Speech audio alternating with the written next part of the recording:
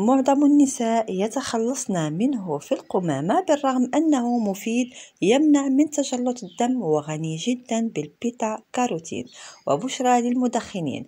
هذا الشيء الذي يتخلصن منه النساء يعمل على تجديد شباب الرئتين وخصوصا للمدخنين الذين أصيبت رئاتهم بأضرار جسيمة بسبب التدخين المفرط سأعطيكم وصفة رائعة تنظف الرئتين بشكل ممتاز.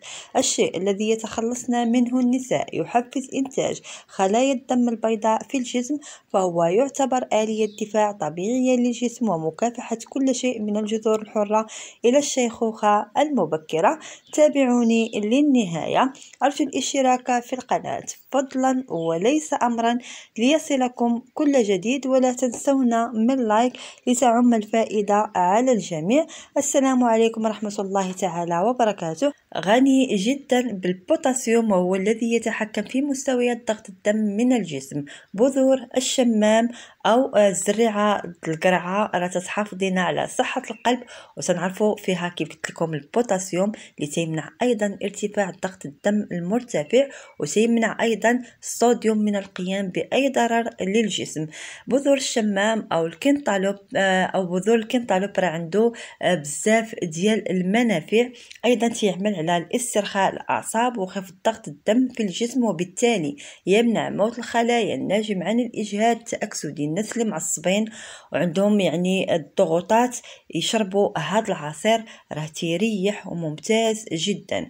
أيضا بذور الشمام غني جدا بالبيتا كاروتين وهو تيحافظ على صحة العين. الناس اللي عندهم آه نظر ضعيف يشربوا هذا العصير. كيف قلت لكم راه غني جدا بالبيتا كاروتين تيقوي النظر ويعمل على منع اعتام عدسة العين. راه مهم بزاف فيه بزاف ديال العناصر اللي خليت لكم في صندوق الوصف فقط ما تنساوناش من لايك أيضا الناس اللي عندهم الدقة ديال القلب تنقولوا تجيهم ديك دقه القلب يشربوا هذا العصير. راه تيعزز سو... أيضا تيعزز توريد الأكسجين إلى الدماغ وتيخلي الإنسان يركز مزيان وفي نفس الوقت تيترخى وتينعس يعني كي تنقولوا تيشبع نعاس فغير آه، كولوه راه ممتاز جدا. نوريكم الطريقة الصحية والصحيحه باش تناولوه راه فيه أيضا ال fructose وال glucose عفوا. آه، الناس اللي عندهم مرض السكري حتى هما يشربوه. الناس اللي عندهم السمنة حتى هو راه ما تيغلطش نهائيا. أيضا كيف قلت لكم الناس اللي تيدخنوا بزاف راه تنقي لهم الصدر. المهم أنا ما تنصحكمش باش تدخنوا إن شاء الله في حلقات مقبلة غادي نعطيكم واحد العلاج رائع وفعال.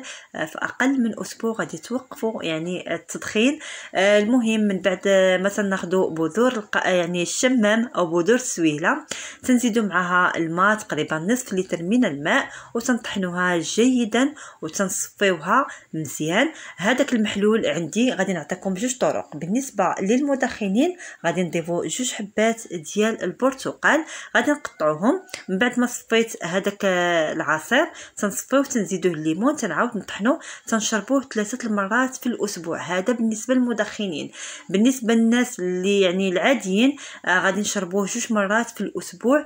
كاين اللي غادي يقول لي علاش؟ غنقول ليه لأن آه يعني آه بذور آه الشمام أو بذور الزريعة ديال السويلة فيها واحد النسبة عالية ديال البوتاسيوم. وحتى البوتاسيوم راه ما خصناش يعني نكثروا منه. راه كلشي غادي تلقاوه في صندوق الوصف.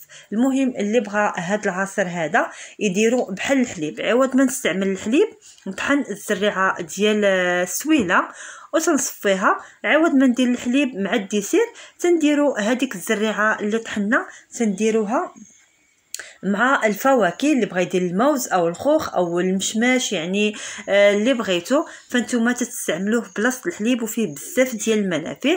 ما تنصحكمش باش تلوحوا تنتمنى باش تعجبكم حلقة اليوم وتشاركوها مع